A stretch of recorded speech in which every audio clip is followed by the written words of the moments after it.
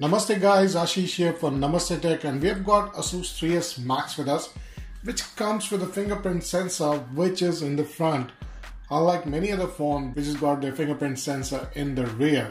So now in this video I'm going to tell you how to set this up and how to use your fingerprint sensor to unlock your phone. So you go to settings and search for fingerprint so it pops up right up. The search option is the best and is the right way to actually search anything in your settings. So launch this and you will have another option called as fingerprint here. So just open it because it's under security. And this is the setup screen where it allows you to set up your fingerprint. You can have multiple ones. So let's do it. So hit on continue.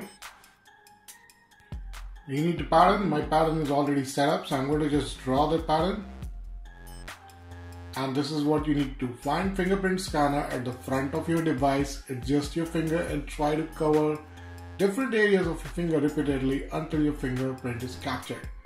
Press the back key to return home button is disabled during the enrollment.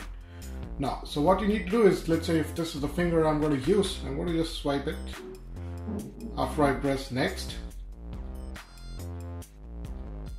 Now since the scanner is not as big as your finger so you might have to do it multiple times.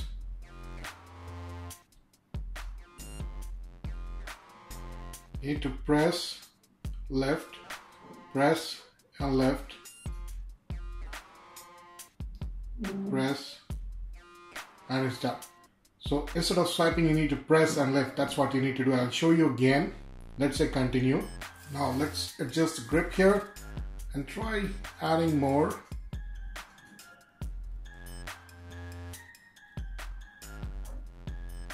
This is the problem with the Google Assistant, I guess.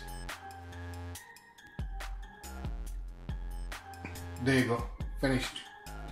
We'll try another. To use my thumb now. Pretty convenient for the front one.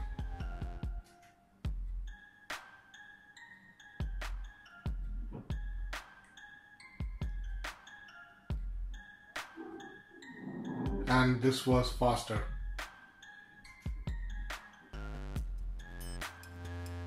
There you go. So it's pretty easy. So since this is in the front, you might have to struggle a little bit, but it works out pretty nicely. Now I can lock my phone. And if I want to unlock, there you go. Pretty fast.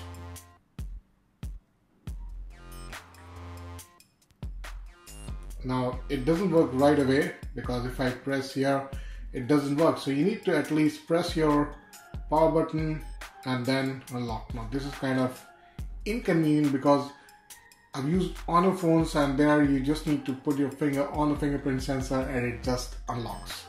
That's how it should be. But nevertheless, if you have 3S Max, just hit on the power button, press this and it unlocks. Now what are other things you can do? You have incoming call lock, you have got snap call, feature available, and that's about it. There are more things that you can actually do with your fingerprint sensor. We'll talk about it in the next video.